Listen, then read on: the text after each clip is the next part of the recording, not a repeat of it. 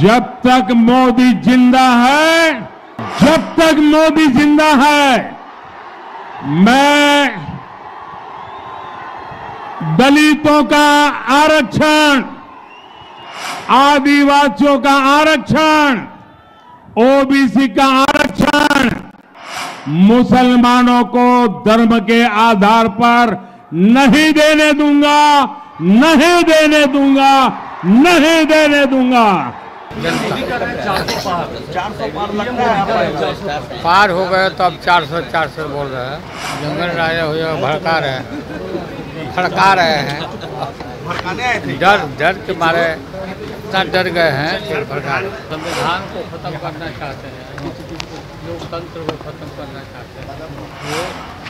वो बात को जनता के जहन में सारी बात आ गई है। लालू प्रसाद जी ने कहा कि मुसलमानों को आरक्षण मिलना चाहिए। एकदम इसका हम लोग विरोध करते हैं और दलित समाज और पिछड़ों का और स्वर्ण के गरीबों का आरक्षण किसी भी हालत में भारतीय जनता पार्टी एनडीए खत्म नहीं होने देगा। श्रीमान लालू प्रसाद यादव जी और इनके पुत्र ये अपराधी उग्रवादी को सदन तक पहुंचाते हैं। लालू प्रसाद यादव मुस्लिमों को आरक्षण देने का नहीं, मुस्लिमों के वोट के तुष्टिकरण का। अरे ये उग्रवादी, आतंकवादी, अपराधी से भी वोट मिलेगा तो उसको भी आरक्षण के दायरे में लाने वाले लोग हैं। नमस्कार, आप देख रहे हैं दर्श न्यूज़। मैं हूँ आपके साथ रितेश शर्मा।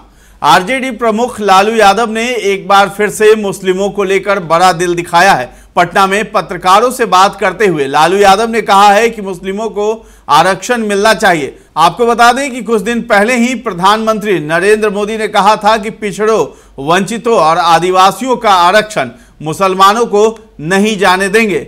अब इस पर जो है आरजेडी नेता लालू यादव ने एक बार फिर से मुस्लिम समुदाय के प्रति अपनी दरिया दिली दिखाई है। उन्होंने मुस्लिम आरक्षण को लेकर बड़ा बयान दिया है। लालू यादव ने पटना में पत्रकारों से बात करते हुए कहा कि वोट हमारे पक्ष में है। वे यानी एनडीए कह रहे हैं कि बिहार में जंगल राज होगा क्योंकि वे डरे हुए हैं। वे भड़काने की कोशिश कर रहे हैं। वे संविधान और लोकतंत्र को खत्म करना चाहते हैं। इस दौरान लालू यादव ने मुस्लिम आरक्षण पर भी बयान दिया। उन्होंने कहा कि मुसलमानों को तो आरक्षण मिलना ही चाहिए। हालाँकि लालू यादव के इस बयान पर जो है बिहार के दोनों डिप्टी सीएम ने प्रतिक्रिया दी है। सम्राट चौधरी और विजय सिन्हा ने मिलकर जो है लालू परिवार और लालू यादव पर हमला बोला है। सम्राट चौधरी ने कहा है कि गरीबों और वंचितों, पिछड़ों के, का जो आरक्षण है, उसका लाभ जो है हम उन मुसलमानों को नहीं होने देंगे। जिसके हक में जो आरक्षण है, वही उन्हें दिया जाएगा। तो सम्राट चौधरी ने क्या कुछ कहा है, वो सब आप इस वीडियो में सुनिए। अर्जित यादव ने एनडीए की सरकार को राक्षस बताया है ये उनकी मानसिकता है स्वाभाविक है। उनके पिताजी ने उसी असी असुरी ताकत से बिहार को चलाया है। जंगल राज स्थापित किया था। और उनके पिताजी ने तो आज स्वयं लालू प्रसाद जी ने कहा कि मुसलमानों को आरक्षण मिलना चाहिए। एकदम इसका हम लोग विरोध करते हैं। अति पिछड़े और दलित समाज और पिछड़ों का और स्वर्ण के गरीबों का आरक्षण किसी भी हालत में भारतीय जनता पार्टी एनडीए खत्म नहीं होने देगा। लालू प्रसाद जी कितना भी प्रयास करें, मुसलमानों को विशेष आरक्षण तो आपने सुना कि सम्राट चौधरी ने क्या कुछ कहा है। तो उसके बाद जो है, हम आपको विजय सिन्हा का वो बयान सुनाते हैं, जिसमें उन्होंने लालू यादव पर हमला बोला है और आरक्षण को लेकर कहा है कि वो मुस्लिमों को आरक्षण देने की बात इसलिए कह रहे हैं क्योंकि वोटों का वो तुष्टिकरण कर रहे हैं तुष्टिकरण की राजनीति कर रहे हैं और उन्हें वोट चाहिए मुस्लिमों का इसलिए वो इस तरह की बातें कर रहे हैं। तो आप सुनिए विजय सिन्हा क्या कुछ कह रहे हैं। उनको रोड पर ला दिया। जैसे तेजस्वी यादव जी नौकरी में कमाई और यहाँ के उग्रवादी और अपराधियों को सदन में पहुँचाने में माल की कमाई। लोग कहते हैं, ये सब पर जवाब देना चाहिए ना?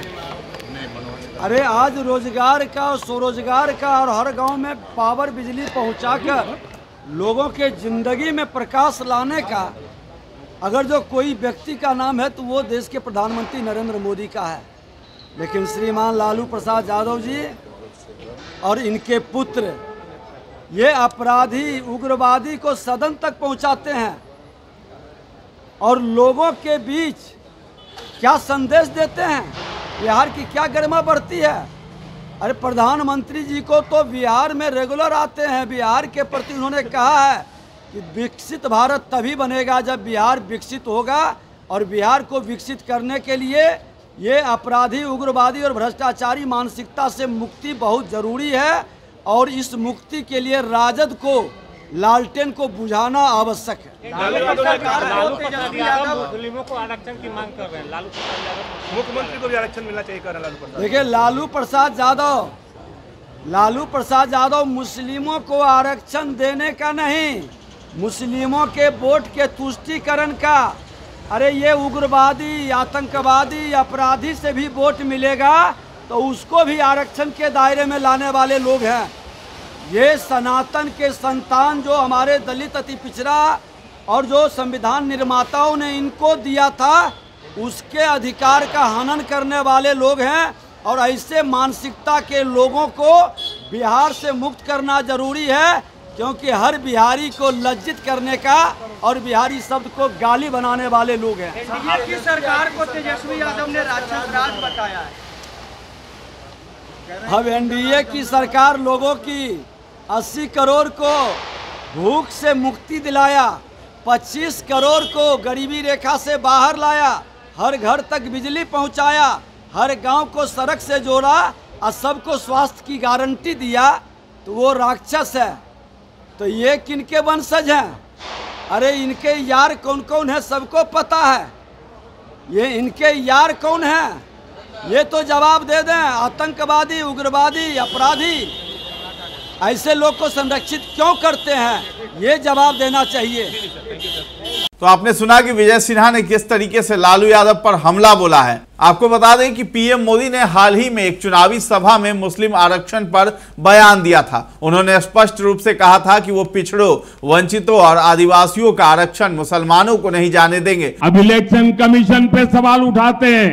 ये लोग ईवीएम पर सवाल उठाते हैं और अब अपनी वोट बैंक के लिए संविधान को बदनाम करने पर निकले हैं। लेकिन कांग्रेस वाले सुन ले, उनके चट्टे बट्टे सुन ले, उनकी पूरी जमात सुन ले, जब तक मोदी ज़िंदा है।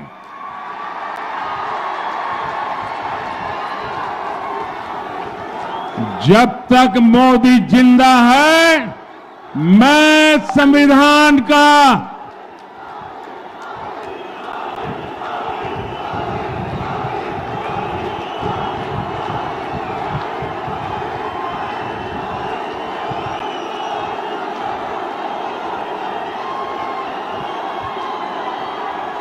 जब तक मोदी ज़िंदा है मैं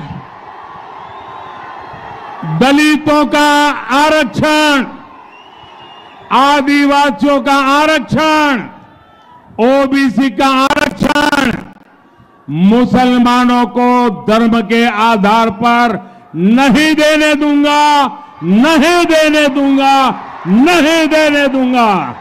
पीएम मोदी के बयान के बाद से ही देश भर में सियासत तेज है। माना जा रहा है कि मुस्लिम आरक्षण पर लालू यादव का यह बयान पीएम मोदी का काउंटर है। संभव है कि लालू यादव के बयान पर राजनीतिक घमासान और तेज होगा। आप पहले लालू यादव का वो बयान सुनिए कि क्या कुछ लालू यादव कह रहे हैं आरक्षण को लेकर के। बड़ी बड़ी लाइनें लगी हुई है लाइनें लगी हुई है। सब जगह। हाँ हमारे तरफ़ वोटिंग हो रही है हमारे तरफ़ हो रहा था हाँ? बिल्कुल। हम लोग की तरफ़ जा रहा वोट जनता।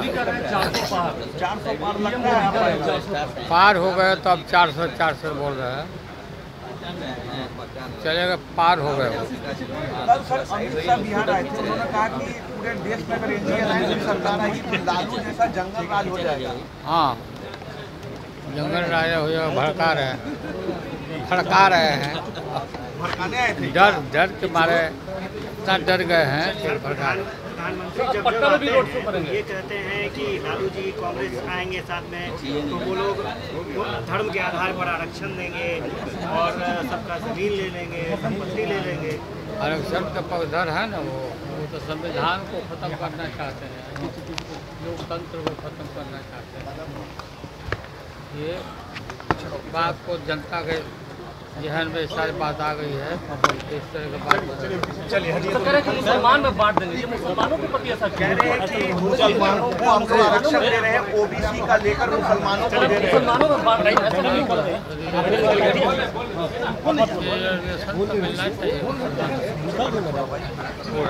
चाहिए तो आपने सुना कि किस तरीके से लालू यादव ने कहा कि केंद्रीय गृह मंत्री अमित शाह के अगर इंडिया गठबंधन सत्ता में आई तो देश में जंगल राज हो जाएगा वाले बयान पर लालू यादव ने हमला बोला है। बिहार के पूर्व मुख्यमंत्री और राजद प्रमुख लालू यादव ने कहा कि वो इतना डर गए हैं, यानी एनडीए इतना डर गई है कि वो सभी को भड़का रही है। वहीं पीएम नरेंद्र मोदी के बयान पर राजद प्रमुख लालू यादव ने कहा कि वो संविधान और लोकतंत्र को खत्म करना चाहते हैं। ये बात जनता समझ गई है। बिहार विधान परिषद में आयोजित शपथ ग्रहण समारोह में शामिल होने पहुँचे लालू प्रसाद यादव ने दावा किया है कि बीजेपी और एनडीए बिहार से खत्म हो गई है और जनता का रुझान महागठबंधन की तरफ़ है। आरजेडी सुप्रीमो, लालू यादव ने कहा कि बहुत अच्छी वोटिंग हो रही है। मतदान केंद्रों पर बड़ी बड़ी लाइनें लगी हुई है। महागठबंधन के पक्ष में लोग एकजुट होकर मतदान कर रहे हैं। जनता का रुझान महागठबंधन की तरफ़ है। बीजेपी के 400 पार के दावे पर तंज करते हुए लालू ने कहा कि चलिए ना, वो लोग तो पार हो ही गए लालू के कहने का स्पष्ट मतलब था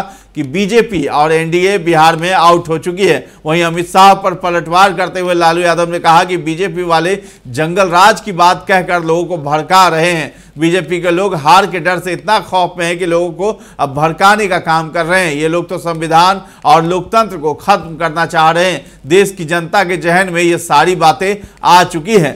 तो ये लालू यादव ने कहा है, अब देखना है कि इस पर जो है आगे और कितना घमासान मचता है, क्योंकि मुस्लिम आरक्षण की बात जो है, और बीजेपी शुरू से ही हिंदू और मुस्लिम की बात करती रही है, और उन्होंने साफ़ कह दिया है नरेंद्र मोदी ने कि वंचितों, पिछड़ों और गरीबों का जो आरक्षण का मामला है, यानी आरक्षण तो दिया जाता है, वो मुसलमानों के खाते में नहीं जाने देंगे। अब इस पर और भी घमासान मचना तय है। फ़िलहाल इस खबर में इतना ही है। आपका क्या कहना है इस वीडियो को लेकर के? हमें कमेंट बॉक्स में जाकर के ज़रूर बताइए और हमारे चैनल को अब तक सब्सक्राइब नहीं किया है तो कर लीजिए। धन्यवाद।